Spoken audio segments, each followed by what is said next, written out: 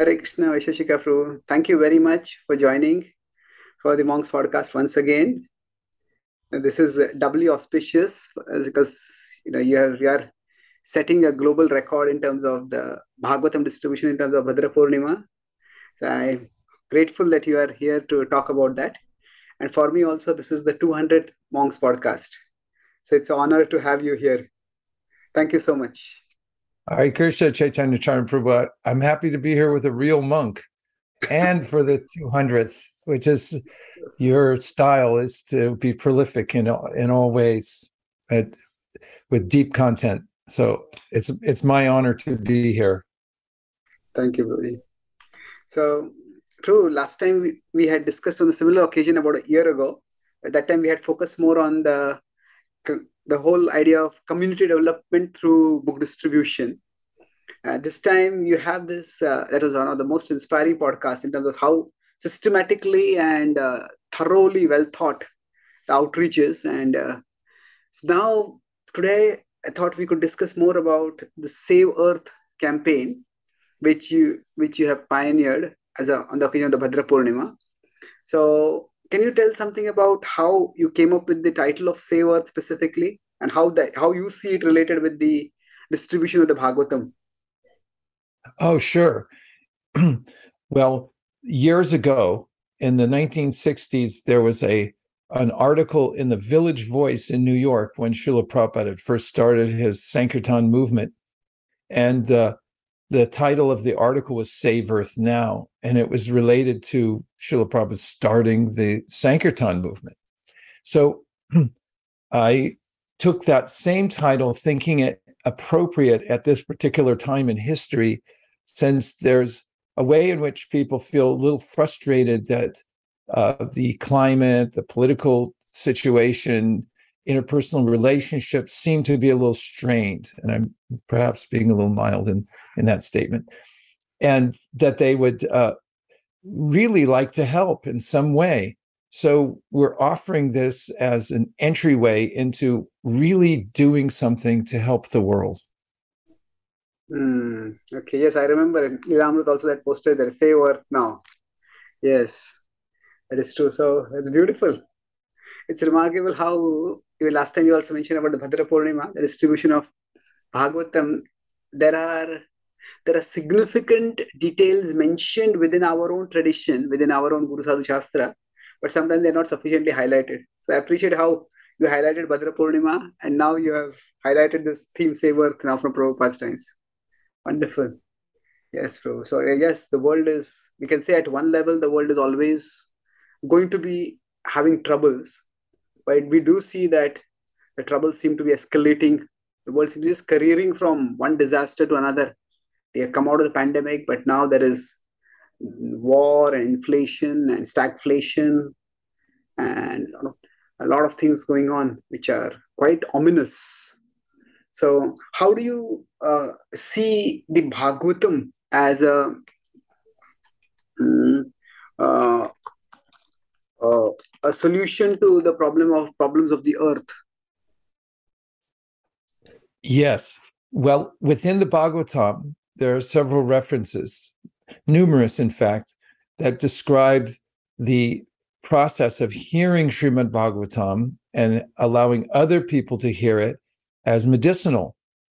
And uh, oh, the word remedy is also used in the Sanskrit word chikitsitam, which means that when there's an ailment, uh, we would like to have the cure that's quite natural. And in a systemic way, we need a systemic cure that is something that, that is highly effective from the inside out. And the premise of the Bhagavatam is that when we purify our inside, then the way we deal with the outer world then also becomes balanced and proper. And the Srimad Bhagavatam then is a sound vibration that's now made portable because it's in writing that can be distributed to others who, when they hear the sound vibration, discover uh, ways of living that help to improve their consciousness and also that uh, solve various psychological anomalies that happen to come up due to our interaction with the very complex material nature that we deal with as souls. And, and in this way, one by one, uh, people who develop an enlightened engagement with the world through uh, purifying their own consciousness then start to have a, an effect on, on other people. And how else would we be able to do it except for one person at a time and then one community at a time and then that by extension going out to the entire world. Mm, yes. There's a quote of Srila Prabhupada also where he says that there is no use of crying for world peace unless there is a awakening of divine consciousness in the individual. So I think what you're saying is the Bhagavatam is transporting, is is raising people's consciousness. And in that way it is going to help in bring out world peace. Yes. So yes, uh, yes, true. So now we could say that three things. First is uh, broadly say inspiring devotees itself to distribute a whole set, and second is uh, that itself is a challenge. And distributing one book is difficult. A whole set, maybe it's even more difficult. I'm amazed at how many sets are being distributed. But I'll just outline it and then you can elaborate. Uh, it, second is that persuading people who know about the Bhagavatam, say probably Indians, Hindus, who have some reverence toward the Bhagavatam, inspire them to take a full set. And those who don't know anything about the Bhagavatam, I think it, inspiring them to take a full book, full set would be quite a challenge. So, any thoughts about how how these challenges are being met and how you are in, you are guiding, encouraging, inspiring in that direction? Oh, certainly. Paradoxically, it seems that the selling a whole set is perhaps easier than one book. And here's why. Oh. When we present the whole Bhagavatam as an encyclopedic encyclopedic presentation of spiritual knowledge, both to those who are unfamiliar with the culture of the Bhagavat, uh, it's much appreciated. In fact, people relate it to the world famous Encyclopedia Britannica, which is a must have. Every family I know before the digital age, I indeed my family and everyone everyone I knew in my neighborhood had an Encyclopedia Britannica. After all, why would you deprive your children of the opportunity to have all the knowledge in the world at their fingertips? And when people unacquainted with the culture of of uh, the Vedas and and the extensive writings are presented with a package that includes as we would tell them all the knowledge of self-realization they feel it to be reasonable and that they they think they should have it. And for those who are from the indian culture who are familiar with the various kinds of shastras and and wisdom literatures uh, they also uh, appreciate the fact that having the comprehensive presentation with all the explanations that come through analogies and metaphors and stories is really important for them so that they can imbibe their own culture and inculcate that same culture into their family, especially their children. Mm, that's interesting. So it just it it's it feels like they're getting something substantial, and uh, that's true. So this comparing with the encyclopedia is also a very thoughtful idea. Uh, and uh, does the Bhagavatam seem too alien a literature, or how do we present it so that uh, actually people feel inspired? Like Encyclopedia Britannica is a very well-known, respected name, but I'm not sure whether the Bhagavatam is is that, that to that extent. We find that Westerners love it those who are inclined to spiritual knowledge are, have a resistance to sectarianism. And therefore, one of the first statements of the Bhagavatam, which is that this completely rejects all religious activities that are materially motivated and propounds the highest truth, which is reality, distinguished from illusion for the welfare of all.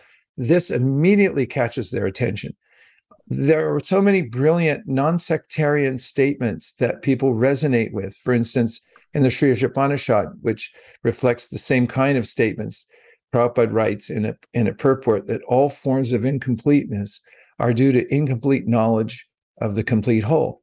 when people hear these commonsensical statements from the Srimad Bhagavatam and the other Vedic literatures, they immediately gravitate towards it because they feel like here's something finally where we're being given a straightforward truth without any of the um, sectarian overtones that it take this or you're doomed forever that type of of mood. And uh, people really relate to the culture in which people would work on themselves. And that's much um, presented in the bhagavatam that it starts with you. And that if you can purify your consciousness, then you'll see the world in a different way and you'll interact with it in a different way. All these very basic concepts that concepts that pervade the Bhagavatam are extremely attractive to people in the West. It's amazing. Oh, now that I think about it, the many times when I give talks to Western audiences, there are some who are interested in basically self-help kind of content and then i try to present from a very basic perspective. But there are a good number of people especially in the yoga studios and other places where they actually want not just generic wisdom but more we could say specifically sourced wisdom. So i gave a class on mindfulness once and one person asked your talk was very good but how much was actually based on the bhagavad gita? So that was a very interesting question. I thought that uh, as people in the tradition we want to keep our content based on the scripture. But even if they are actually interested not just in general wisdom mm, but they're interested in um, in knowing learning books from particular learning about particular wisdom texts from particular traditions also. Is that your observation also true yes very much so. And i'm glad you brought it up because there's a way in which in any tradition one can become jaded a jade is an old horse that doesn't want to run anymore because it's run so many races. So there's this danger of niyamagraha becoming so used to your own tradition that number one, you might think that um, it's it's common, and the other one that uh, is that you might think that it's it's not translatable to an outside audience or those who lack the context. However, as you're pointing out, people often push us those who are in the tradition who are presenting it to tell them more specific information about the Bhagavatam. And when we see their impetus, uh, we realize what a, a, treasure we have because oftentimes people very much gravitate towards the uncommon stories, the otherworldly stories that are there within the Bhagavatam, the pictures, the ideas of variety within the spiritual world. And when we see that in them, we realize more of the value of the Srimad Bhagavatam for ourselves. But I do find that that oftentimes uh, when we're we're trying to pull back a little bit as to not offend anybody's sensibilities or sense of, uh, of being allergic to sectarianism, people often push us and say, "No, no, you tell me more. I want to know the details here. I think you're holding something back." Mm. That's true. So, so actually, there is this, if we that way we want to share wisdom, then it's like an ocean that is available for us to share. And uh, is continuing that point. I was also thinking of uh, wisdom of the sages, where you have also appeared in times. It's amazing how they are able to speak directly the Bhagavatam, take the Bhagavatam verses, and reach out to a large number of uh, people who are not been introduced to bhakti directly, but Bhagavatam becomes their first introduction to bhakti. Yes, and I think it's a matter of uh, trusting those who are presenting it. When you feel a sense of wholeness uh, in the people and goodwill, the goodwill that they're presenting, you you see it for yourself that uh, they're not expecting anything in return, but actually they're presenting in such a way that we can take advantage of it. Uh, human beings, or I should say, sentient beings, by definition, are sensitive and they can feel when there's goodwill being presented. And then they uh, naturally gravitate towards those who are speaking it, and then the message goes in quite easily. And of course, the Bhagavatam is is very accommodating. It it addresses us in such a way that we feel like it's a friendly voice. It's actually trying to help us. and it's it's so the voice of the Bhagavatam is so aware of our plight here in the material world that it's uncanny. And I think people resonate with that too. When we hear the Bhagavatam, it's almost like looking in a mirror and realizing the various types of psychological challenges that we have. And then we hear that voice and we say, oh, this book understands me. It knows me better than myself. And that that experience, I think, impels people to want to go deeper into it and want to listen to more. Mm. So when you say this book understands me better, knows me better, mm, can you give further elaboration? Because at one level, there can be a lot that can seem unfamiliar in the Bhagavatam. I understand what you're coming from, but uh, uh, okay, how, how does that? It's like how does that book help us to know ourselves better? Well, I'll give a couple of examples. There's a story of Urvashi and Pururava, and in it, there's this very intense, codependent type of situation that most people can relate to. Uh, everyone's had some type of situation, or most people, I should say, have had some kind of uh, complications in a relationship uh, that uh, yet they can't give it up because they're so attached. That's a, a very commonplace uh, psychological condition in the material world. And when people hear that story, they think, yeah, I, I recognize that. On the other side of the spectrum, you have Rishabhadeva, who, who gives these uh, very uh, terse statements about how real happiness comes through sacrifice. It doesn't come through trying to get more comfort in the world. And it, it may sound a little harsh at first to the ear, but it, it does make sense to us because we know deep inside that when we are able to delay gratification, when we're able to apply ourselves to a discipline, and uh, then we actually start to feel fulfilled and happy. So there are various ways in which uh, the Bhagavatam just fits, and the the concepts in it uh, meet our expectations of what we want in a spiritual literature. Mm, that's beautifully put. What we want ultimately spiritual literature is not so much just information, but we want uh, something that can help us transform ourselves and we can learn some values and principles. So that's so true. Yeah, I would say also uh, just a few more thoughts on that. We yeah. recognize the attitudes of, of various saints in the Bhagavatam. For instance, you have Dhruva Maharaj, and I would epitomize his attitude as I'll show them. My mother used to say, never underestimate the power of I'll show them. And then, uh, you know, you get Bharat Maharaj, who leaves his meditation practice and and becomes attached to a deer, and that epitomizes a, a particular uh, situation that we often find ourselves in, or sometimes do in this world, where we say, I'll never do that again. If you get me out of this one, I'll be good from now on. and we can go through the iconic figures of, of the Bhagavatam and relate to various attitudes or situations we've been in our lives and see that, oh, yeah, this is talking to me. Mm. So, it, have you made a list of this? This is amazing. yeah, actually, I did. I, I did a talk recently called the uh, something the attitudes of the Bhagavatam. It, it's it's something I'm developing right now, actually, but I'm trying to find the iconic figures, and I so far I presented five of them in a class, uh, but I'm uh, cataloging more of them and bringing them more into the vernacular understanding of what is uh, what is it that we say when we're in these situations and how it relates to those characters.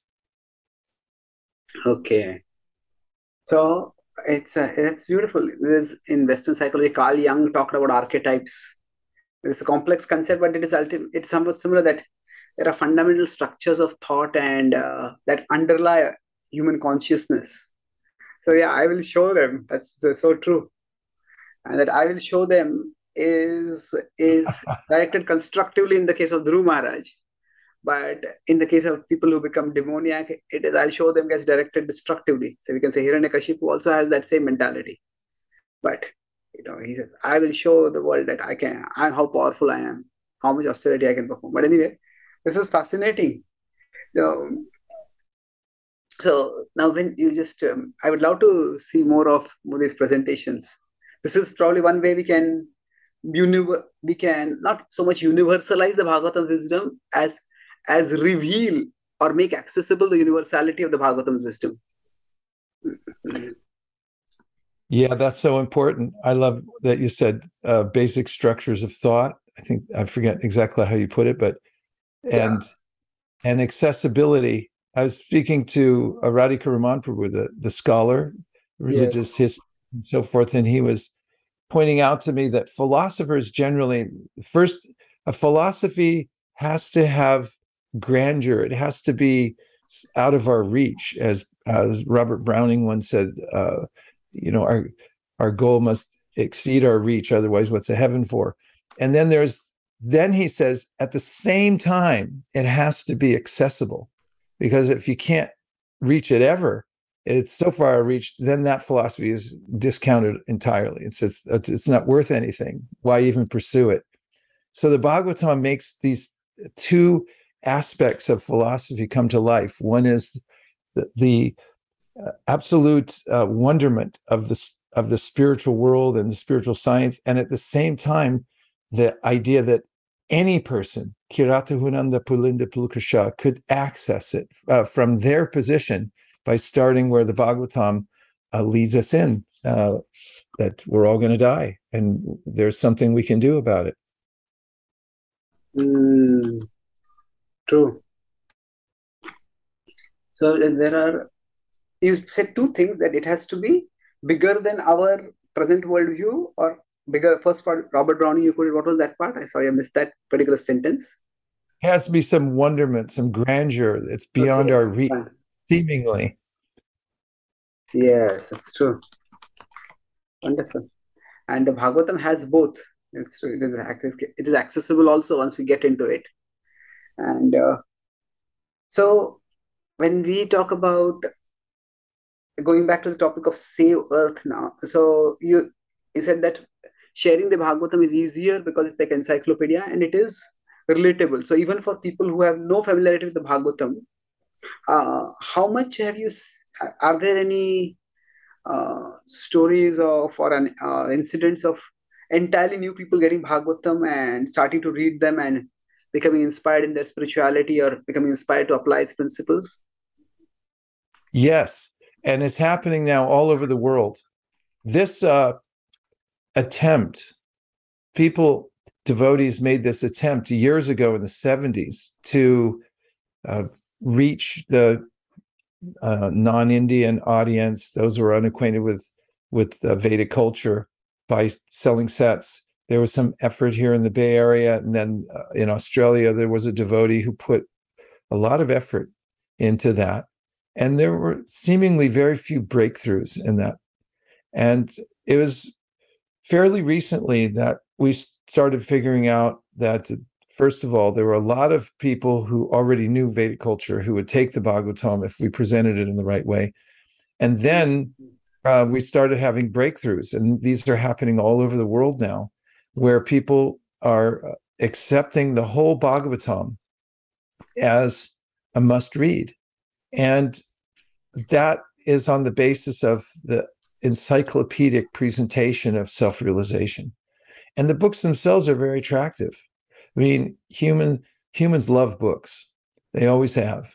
And when they see attractive books that seem to have the values that they're trying to attain, it's hard for them to resist, actually. So when we take the books out into public venues and show them and just explain in simple terms, showing some of the stories through the pictures in the books, then people will say, Yes, uh, let me take this. And I guess the ones who are taking them uh, become transformed. They they take them into their home, which is a statement unto itself that you know I'm embracing something because so- sociologists tell us that the things that we keep in our home, especially prominently placed, are uh, indicative of of you know what we're trying to project to the world. So it's a the big decision for people is if I put this in my, my house, then I'm saying, you know, I'm a I'm a spiritual type of person. And uh, we're hearing stories from various people who took the books into their home and then they started by moving other things out of their life and and reforming their habits like starting to uh, become vegetarians and then starting to practice bhakti yoga in their homes and this is due to the presence of the bhagavatam. Oh okay. So is there any newsletter or some place where devotees who who feel inspired to distribute books can share stories? Like in the past we had the world sankirtan newsletter. Do you have anything specifically for the Bhadra campaign or for Bhagavatam distribution, or it's included in the overall book distribution uh, inspiration? Yes, we have a, a website called distributebooks.com, and there we put together all the latest, best, and the best practices. And we have a, a WhatsApp group. There's one of them that's uh, in North America for those who are interested in pursuing uh, book distribution. And uh, that you can get in touch with um, our department, our Marketing, Communications, and Innovations Department called the MCI uh, from the Bhaktivedanta Book Trust. And um, mm. we have we have links to that that uh, Shamahini can give you that uh, your listeners can connect to. And very specifically for Bhadra Purnima, we have a wealth of uh, information that uh, people can um, can uh, download, like exactly how to present the Bhagavatam. We also have uh, people, con- uh, those who are teachers, who will contact you or your team and give you a tutorial of how to do it. And we found that to be very successful. Mm, that's amazing. So, can you, uh, since you brought this subject up, can you share a little bit more about how the coordination is managed globally for something as big as this? It's uh, ultimately, I think it's individual devotees all over the world who must be doing according to their inspiration. But still, there seems to be a significant level of coordination also. Yes, that's correct. So, on every continent, and the way we look at it is we have seven continents, and each is a palette upon which we can express our devotional service, especially through book distribution. And, and each continent has uh, various leaders that we stay in touch with. And then there's sub leaders, and there's a hierarchy that goes out uh, into the um, various levels of, of management and then to, into the congregations and so forth.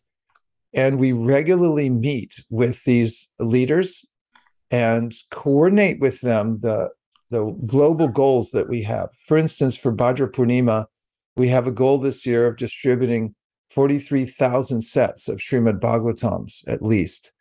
Mm-hmm. Last year we did 35,000. So this year we're going to increase by 23%. And that keeps us on track for our five year goal that by 2026, we'll have the capacity worldwide to distribute at least 100,000 sets of Srimad Bhagavatams collectively as a global team.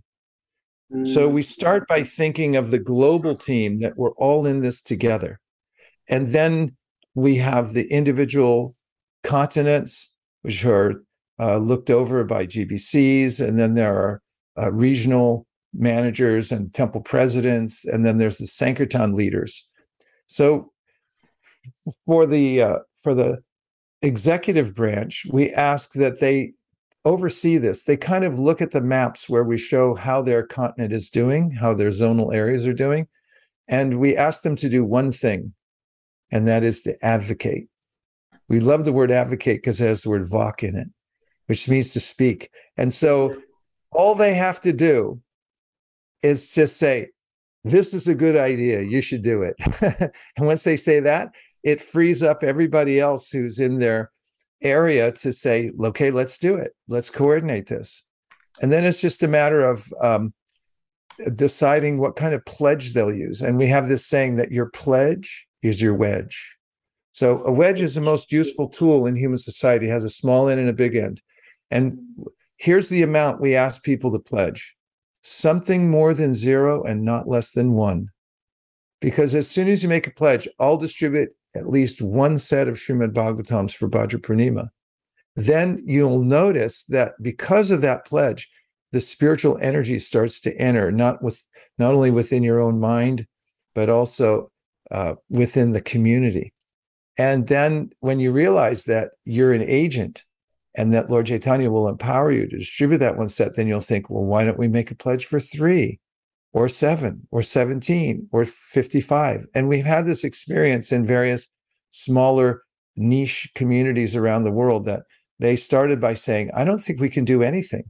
We've never done it before. We don't know how to do this. And then we said, well, just make a pledge, something more than zero and not less than one. Say, okay, we'll do one. And like in Hong Kong, they said that. And then uh, next thing they called us back and said, guess what? We did three. And they said, we've upped our goal to 17. And then it kept climbing and climbing. And then we find that there's this uh, stream of spiritual energy coming to their community. And it's coming from Lord Chaitanya. So we also have a saying, assume it can be done, that we realized during the pandemic. And that is the only thing that holds us back from uh, increasing our capacity to distribute Srimad Bhagavatam is our attitude. And you can preempt the attitude that blocks all growth. And that attitude is that uh, you have a list of excuses why it can't be done. And oftentimes, when you say, "Well, how about distribute a set of Bhagavatams?" someone could give you two pages of of a list of two pages that say, "Here's why we couldn't do it." So we say instead, and this is our motto: we have merch and everything that says this: aprons, bags, buttons. Assume it can be done. If you start with that, because Lord Chaitanya is doing it, we're not doing it, then it opens up this universal intelligence that's coming from Krishna. And last thing I'll say about that is that in 1975, in we went to Prabhupada in Vrindavan, our Sankirtan leaders, to ask Prabhupada how we should teach people how to distribute books. And Prabhupada said, teach them to, to be sincere. And then he went like this with his hand. He said, because the master within the heart will show them how to do it. Mm, Dadami Buddhi Yogam Tam. It was in 10, 10. That's beautiful. So when you say, just a couple of thoughts, your pledge is your wedge. Wedge means, are you saying that like a tool for getting inside where it's difficult to, like to pry open something? So to pry open our well, yeah, you, the wedge you are using in what sense? Hmm? That's right. Think of it like initiation. You make a vow that I'm going to chant 16 rounds. That's your entry level. That's your wedge to get you into the spiritual world. Like, who let you in? Well, they just opened the door a crack for me and I got in. I got in with my pledge.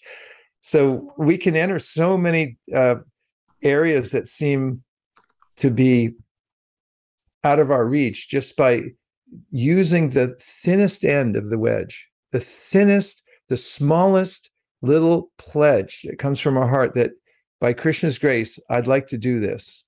And as Krishna says in the Bhagavad Gita, Swalpamapya siddharmasya trayate mahatobayat. That's the most useful kind of prayer. Uh, it's something active. Let me do something for you. And when you do it, even if it's su alpam or the smallest razor thin, in fact, even better if it's razor thin, because then it, it, it gives you better entryway, then you're saved from the most dangerous type of fear and you'll make progress. Hmm. That's beautiful. In one sense, this is a practical way we can say yena kena prakarena manakushniveshe somehow or the other. That's not just like arbitrary or random. I mean, somehow we have to find our wedge inside. And what you are providing is various various resources or various pathways, various ways in which people can get their wedge. We always do, as then you can start off, both sharing the reading the Bhagavad, both distributing the Bhagavatam and eventually reading the Bhagavatam also. Yeah, well, think about how Prabhupada did it. His Bhagavatam was his wedge. He didn't bring anything else. He brought the Bhagavatam and and they asked him at customs, you know, are you going to sell all these? And he said, no, no, they're gifts. And then he got in and the rest of it expanded based on that beginning Bhagavatam. uh, distribution. And then think about also the pages in the Bhagavatam. I think about this often, Chaitanya Charan Prabhu. So when I'm reading the Bhagavatam, it looks like a long literature, and it is. It's 18,000 verses. It can be a little intimidating. How Mhm. thin is a page? How thin is one page? It's so thin you can't even measure it. Good luck measuring one page, the width of one page, right? And so then you might think like, how am I going to actually get through one part of this, one chapter, if the pages are so thin? It's almost like Zeno's law, that Greek philosopher said you can't go anywhere because you have to have to go halfway first, and there's an infinite number of halfway spaces. So the answer is by just being methodical. And if you just do one page at a time, then you're going to get through the whole Bhagavatam. And what more can you do in your life? And it's the same way with reading as it is with the distribution of the Bhagavatam. Just make a small presentation and find out where it takes you and do another one after that. And the world changes, it opens up because of the wedge principle. Mm. Amazing. The world changes, the world opens up. This is amazing. So, when uh, we talk about, uh, so the wedge was one thing you mentioned, and the other point you mentioned was also that for people when they uh, when they start off, assume it can be done. That's also a very interesting way. So, in one sense, some, there is this uh, there is this uh, paradox where at one level we say that the world is dukhalaya, it's a place of distress. And the Bhagavatam also is spoken in, a, in, in the shadow of death. Parikshit Maharaj is going to die. But at the Hmm. same time, despite both of these, death and distress being unavoidable, it, it seems that there is abundant room or even, even you could say necessity for a, for a positive or optimistic attitude and not a pessimistic attitude. So how do how, how do you see this? Because we can also say that it's Kali Yuga and things are going to darken now. So assume it can be done. How do how does a devotee philosophically ground this optimism and not just see that as as say like motivational self-help alone? Well, again, it's attitude, which is expressed in the Bhagavatam itself. The quintessential verse which directs our attitude is in the 10th canto, Tenu kampam susamikshimano punjana evatma kritam vivakam. That if we maintain this optimism about the world, that it's a friendly environment, it's trying to inform me, it's trying to purify me, then whatever obstacle we come against, we actually find it to be uh, to, uh, helpful. And this is the logic of the forest fire. Recently, I was in the forest and uh, with a close friend, and and we stopped along the way to read some of the placards in this uh, national monument, which has red redwoods in it. And on one of the placards, uh, there was a description of how uh, forest fires, which uh, occur regularly in in the in the forest uh, due to lightning strikes, are so good for the forest. And one might think, oh, that that the fire is bad, but actually it opens up the canopy and lets in more light. It burns off a lot of the duff, this uh, collection of uh, debris on the ground that comes from trees and other plants, and it invi- and that becomes nutrient rich. And then it, many more animals come in. In fact, the indigenous people there, uh, the Miwok uh, tribe, used to have uh, their own controlled burns because they realized the benefit of fire in the forest. So when we have fire in our lives, actually, you might review your life and see that the times when you were most challenged are the times when you actually dug the deepest and you got your deepest realizations that have guided your life since then. So the Bhagavatam works on that principle. Yes, it's dukhalayam, it's a place of misery, but what do those do for us? What do they tell us? What do they inform us about ourselves? And if we have the idea that um, assume it can be done because we're being guided by a higher power, then our life becomes really exciting. And that's the optimism of the Bhagavatam. That's what it teaches us. Mm. I had always thought of this verse as a, a verse of submissiveness, humility, tolerance. But within that, there is optimism also.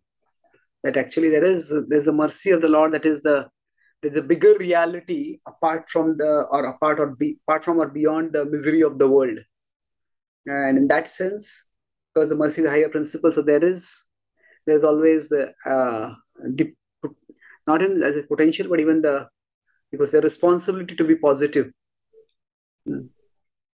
Ooh, I like that. The responsibility to be positive. That's really good. yeah. yes. So actually, you know, a, a, a great leader once told me when I was seeking counsel, your first duty as a as a leader is to be blissful. He said, if you're blissful, then you can overcome all other obstacles and other people want to follow you. And if you're not blissful, then what can be done? Mm, that's amazing. I, I, was also talking with one devotee, and again, Prabhupada disciples, when we chant Hare Krishna and be happy, they're not, that's not necessarily one instruction, they're two instructions.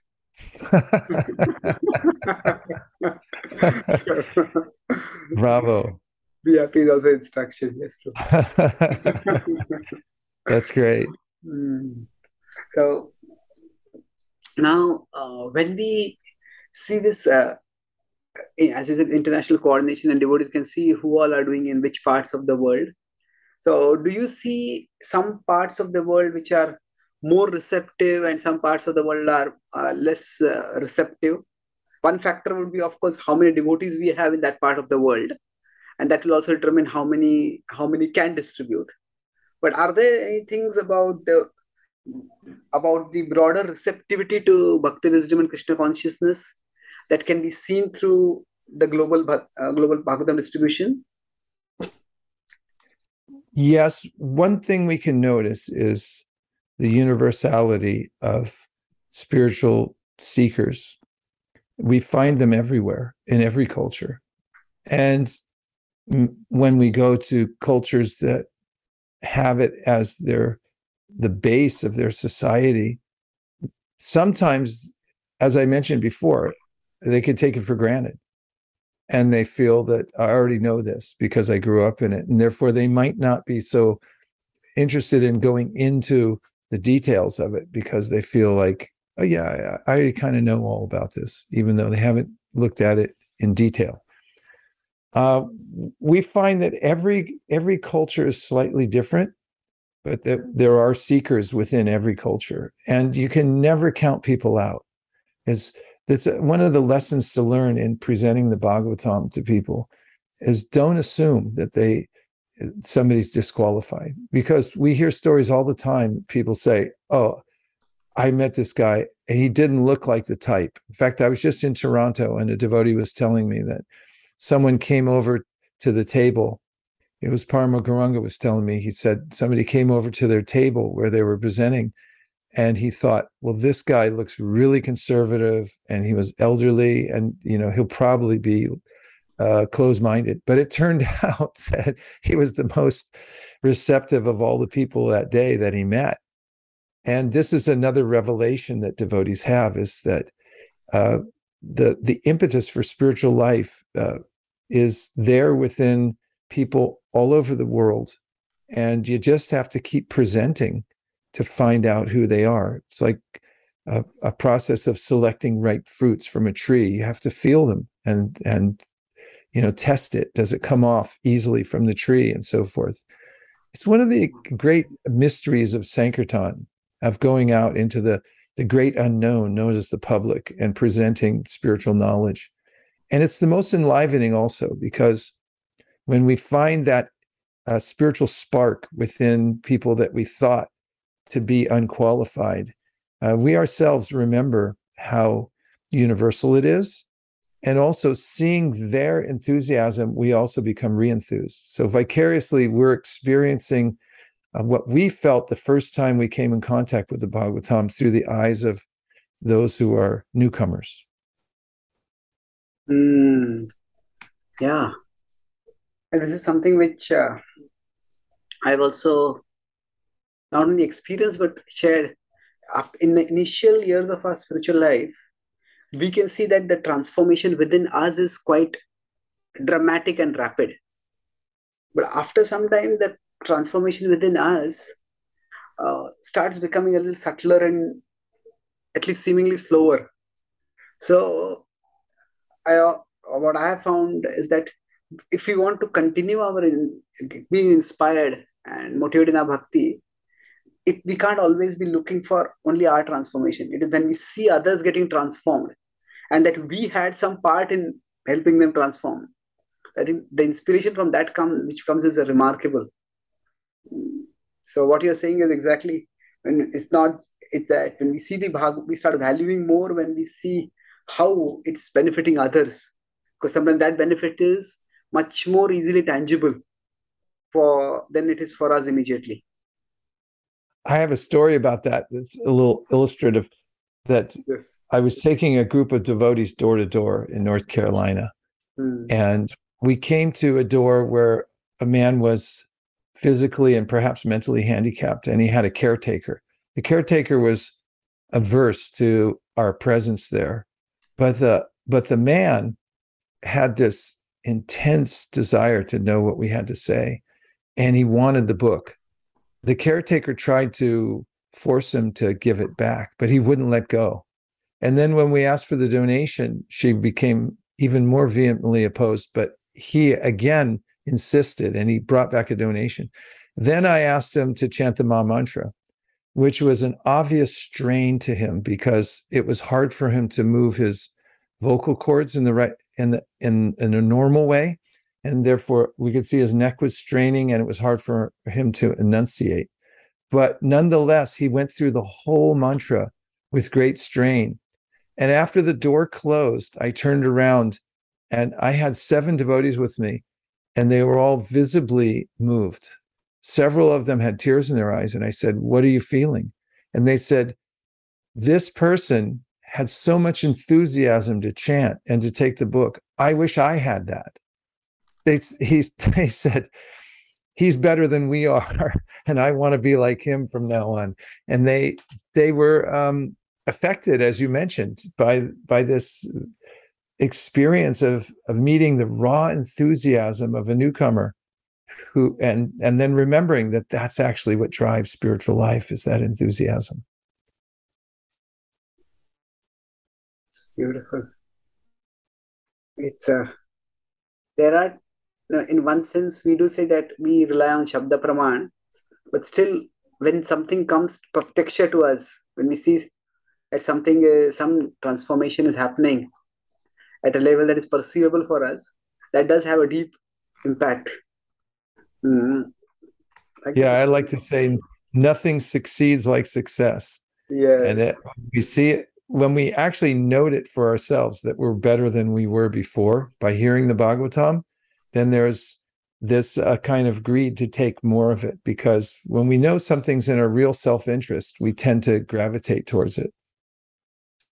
Yes, it's true.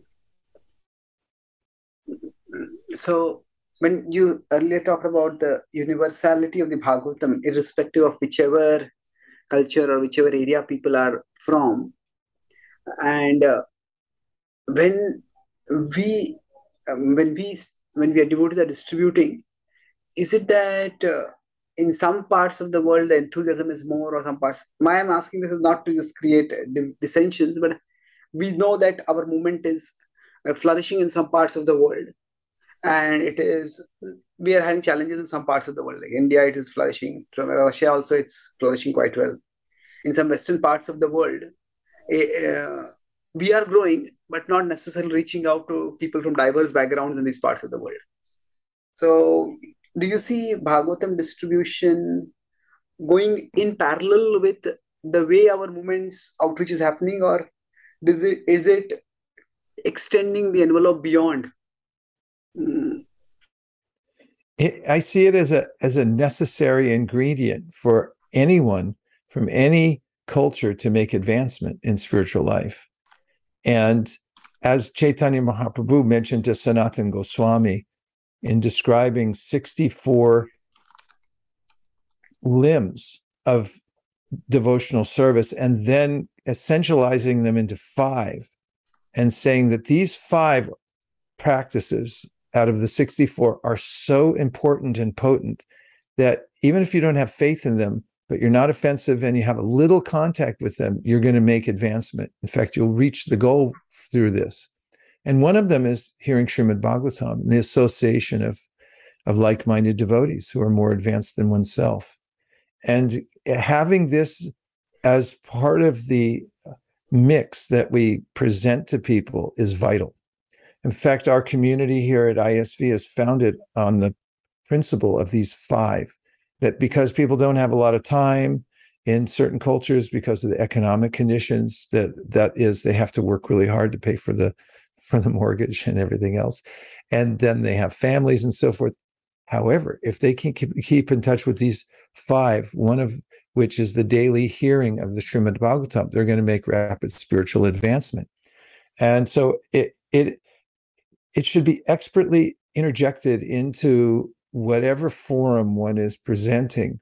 You brought up Wisdom of the Sages earlier, and Kaustubha Prabhu and Raghunath Prabhu are dedicated to the Bhagavatam, and that's exactly how they've grown their community, which is overflowing now with people who are eager to advance in spiritual life. And it is the uh, fulfillment of the prophecy that Srila Prabhupada made when he was on the Jaladuta and wrote about how important the Bhagavatam is. In fact, that was the wedge as I mentioned before, he he quoted from the Bhagavatam itself, starting with Shushu Shroshadhanasya, then Srinvatam Swakata Krishna, saying that if someone can just be in an environment where the Bhagavatam is being spoken and hear it even a little bit, then they're going to make spiritual advancement. So it's vital ingredient is always present whenever you find people making spiritual advancement. So we should emphasize it in every culture, Kirata, Hunandhra, Pulinda, Pulkasha, Pirashumba, Yavana, Kasadaya. Shukadev saying, doesn't matter where you're from, doesn't matter how far away from, from the Varnashram system you are, you're still going to be purified, Prabhavishnave Namaha, because of the power of Lord Vishnu coming through the Bhagavad. Mm. So it's the way you're putting it, it's, it's uh, both for our community development as well as our for outreach. Bhagavatam is an essential part, yes. And it's one of the five limbs of devotional service. And uh, so, do you see that the, the Prabhupada, one of his concerns was that we we distribute his books, but we don't read his books. Do you see a correlation that if devotees read the Bhagavatam regularly, that inspires them more to distribute it also? Or distributing it inspires them to read it? Is there some kind of uh, synergy or cyclicity in that? Yeah lo- lovely word synergy. And i like the example that i found in jamuna's famous cookbook the cuisine of india or whatever it's called. And it's it's again encyclopedic cookbook. And in the section on rice i found uh, the, the scientific evidence for combining rice and dal and, and that therefore making a, um, a superfood. So rice is a good food, it's a world staple. Dal is a good food, but when you put together the two of them, you get a superfood. So similarly, distribution of Srimad Bhagavatam is high sadhana. Hearing the Srimad Bhagavatam is high sadhana, but when you put them together and you do both, you get this super sadhana. And that's what she said you get 42% more nutrition when you put the two together. So, in the same way, if you want the most beneficial practice in your life, then read Bhagavat, distribute Bhagavat. Those two make super sadhana. Mm. It's beautifully put. So both both improve. That's the in fact, probably as you know, you know we we have a system and it's an app available for Android and for the iOS. It's free on the internet. You look it up. It's called Be a Sage Page by Page. Yes, and this app, the, the, best yeah. resource I have seen online for actually studying Prabhupada's book systematically. I don't think it, there's anything else which comes anywhere close to it. Also, now it's amazing. Oh, thanks, Prabhu. That really is heartening. I did it for myself because, you know, I'd look at the Bhagavatam and all the Prabhupada's books and sometimes have this feeling like, how could I possibly read all those? I'm so busy. And then I heard Brian Tracy say, anything you want to do, you break it into small slices, and then you can do anything. And I thought, yes, that's it. The Bhagavatam has a finite number of pages.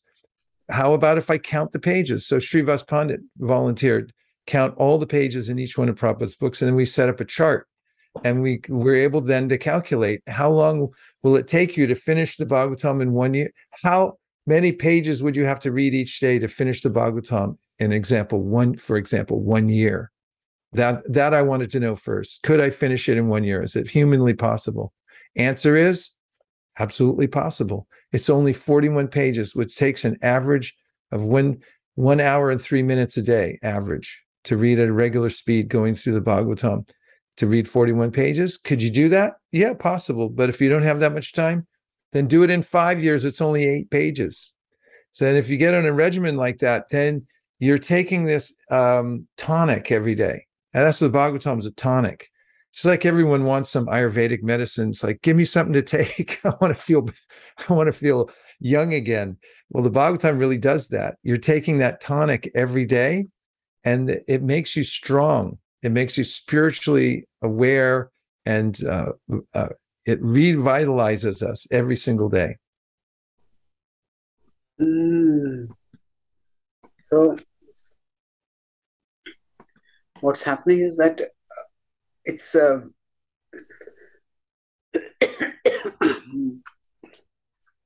it's uh, two things happen. First is it becomes accessible. It seems doable. As eight pages, finite number of pages seems doable.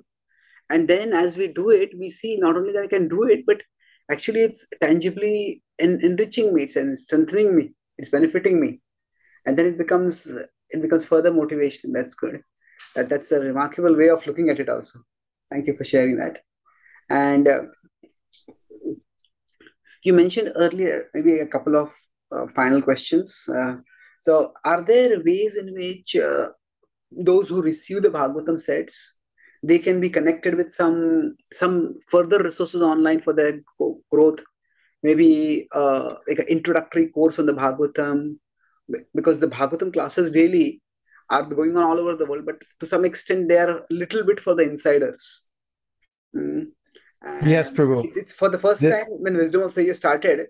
I had not really thought of the Bhagavatam as a tool for as a means for outreach. I'm not even sure whether this has been done in, the, in our tradition in the past, because in that sense it's remarkable. But it does seem there's a huge amount of potential. So, any any thoughts about that? Uh, absolutely. In fact, it's on the forefront of our minds and has been for some time. And fortunately, uh, during the pandemic, we were able to marry the two together. The two means book distribution, distribution of Bhagavatam, and having a community that people could enter at an entry level and uh, then uh, stair step their way up to thriving in devotional service. And uh, we're finding and that the that devotees have thought of this in many places around the world and they have programs in London. Uh, there are programs here at ISV that we started that are now being used in various countries around the world because it's franchisable. Our prog- program is called uh, Bhakti Community. And as an example, when we announce Sankirtan scores, we also uh, combinedly talk about how many people came into the Bhakti community. And when devotees go out to present Bhagavatam, they're also finding those who are most interested and then inviting them to come into the community. And at that level, we present it at, at the level that's appropriate for each person who enters so that they can then feel part of a devotional community that suits them, has the right habitat for them to survive, and then uh, come up to the level of actually wanting to distribute Bhagavatam. And we're, we're finding this cycle again and again that people come in to these uh, programs, and then they get um, they're they're naturally part of the community, and then their next impetus is how can I give this to others because it was given to them in the same way they want to give back. Hmm. But when they give back, they can give it, do it in a more accessible way.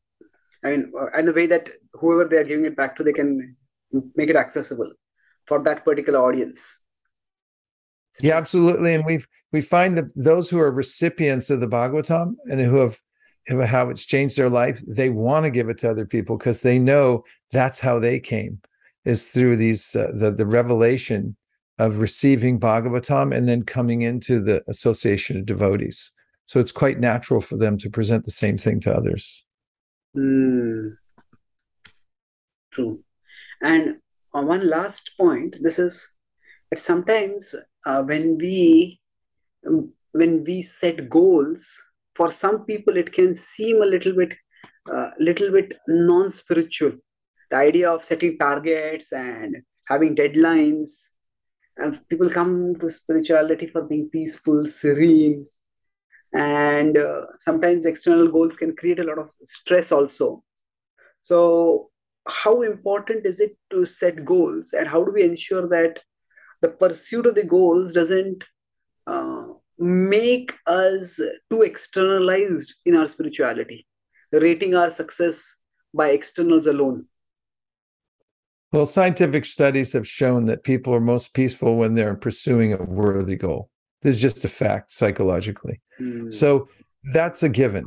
And then uh, as far as goals, those can always be adjusted. We're we're self-imposing uh, goals on ourselves all the time for what it makes of us to achieve them, and therefore uh, we're at liberty to adjust the goals appropriately. Therefore, uh, when when I introduce Bhagavatam distribution in a new community, I tell people we're not going out to sell books. We're just going out to touch the pavement you go out and you touch the pavement in the place where we're going to distribute them and you're done for the day that's your only goal is to feel what it's like to walk out past the threshold of your doorway and go out into the great unknown how does that feel to you once people have that experience and then they get a little bit of traction by being outside they want goals they want numerical goals and we've tried that here at isv we normally have uh, quarterly certain kinds of goals and then when we tried one quarter to give everyone a break for a little while, no goal, everyone complained. They said, come on, that's no fun. So goals are, are there so that we have something to reach for. You know, as you give that example, you go to the gym and then you just move your arms around. You don't measure, is it a 35 pound weight or 45 pound weight? Man signs up for the gym and then says, oh, it's too much trouble to lift the weights. I'll just move my arms. And then what's that? Nothing. So we want something that puts a little pressure on us. Pressure is where we grow, pressure is where diamonds are made. And uh, this is the substance of life. Now, if you put it in a spiritual context, then you make spiritual advancement, interestingly, when you have a little bit of spiritual stress, which is a good thing. It's not a bad thing. Material stress is bad, but spiritual stress, working towards a spiritual goal, actually purifies you and allows you to develop more capacity. And that's what we want. I just say that, you know, this Bhadra campaign is based on a verse from the 12th canto of the Bhagavatam that says, when you give the gift of Srimad Bhagavatam to somebody else on the full moon day in the month of Bhadra, you get the return gift of going back home, back to Godhead. Therefore, we're we're advocating that everyone get involved in the campaign. They can come to www.bhadracampaign.com and they can get all the information, but give at least one set of Bhagavatams away uh, for the Bhadra Purnima. We're having a grand uh, uh, fire ceremony to announce the results of all the Bhadra uh, distribution and pledges in in Tirupati, India. It'll be televised world or, or on the web, live streamed worldwide, and everyone can do something. Get involved and uh, get get your community involved and start with a wedge, something more than zero and not less than one. That's beautiful. That's so doable. Thank you so much. This is everybody can get involved, and it was very stimulating discussing it. At how, first of all, the Bhagavatam is so it's it's filled with wisdom that the world needs, and it's individual transformation that can actually transform the world eventually. And the Bhagavatam is meant for raising individual consciousness and this is our tradition's legacy, our tradition's contribution to the world, which we should not be withholding back. The people are seeking it. And as what the for Srila, like your pledges your way, so you talked about various ways in which you can be optimistic and start off from zero to one. How Srila Prabhupada considered this the central pivot for his outreach and how we can not only inspire, eh, distribute Bhagavatams, but have a tangible program by which we can read books ourselves. And it's an essential part of our sadhana, essential part of our outreach. And this last point, which you mentioned about that peace comes not just by having a peaceful environment, but actually it comes by having more of a purposeful life, have a purpose in our life. And Bhagavatam gives us a great purpose. And uh, the synergy of the external and internal, these are amazing points. Thank you so much for sharing. And yes, I'm sure that many devotees will feel inspired to do whatever they can. Chaitanya Charan Prabhu, it's such an honor to be on your show. I find you to be the most brilliant presenter, the most thoughtful devotee. And uh, I, I love how you're consistent every single day in putting the message out for thousands, tens of thousands of people, perhaps millions now around the world. I thank you for for walking the earth and for being such a um a, a, cooperative community person. You're always trying to help everybody else come up. It's really an honor. Thank you very much, Prabhu. Thank and you. to all your Your audience. kind Hare word. I see them as blessings of Srila Prabhupada. And Thank you. I see that uh, I'm, I'm privileged to have your association and your words of encouragement. The more I travel across the world, the more I see how much your influence is there, not just among devotees who are directly inspired by you and taking shelter of you, but also everyone who is distributing books. They're all over the world in in in India, in Europe, in Australia, in America, in in Canada, everywhere. So I'm happy to be a small instrument for continuing or expanding what you are doing. Thank you for coming on this Hare podcast. Krishna. Hare Krishna. I look forward Gaur to having you again someday. Haribol. God Jai, Hare Hare Krishna. Prem.